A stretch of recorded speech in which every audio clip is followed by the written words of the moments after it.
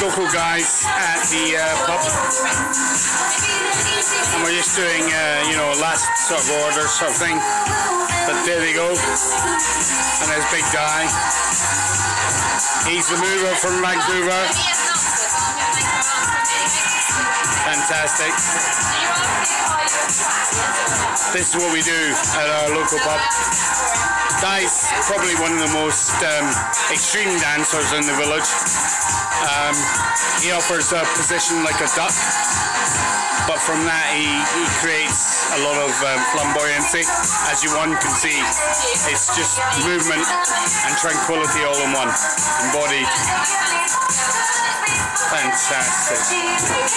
Superb. Anyway, um, there's a couple of our local um, local stars.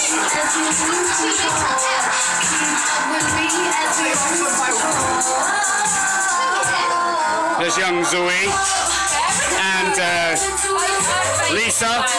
Zoe and Lisa. You going on the gym a bit? And there's Danielle. Hello, Danielle. She's got two arms.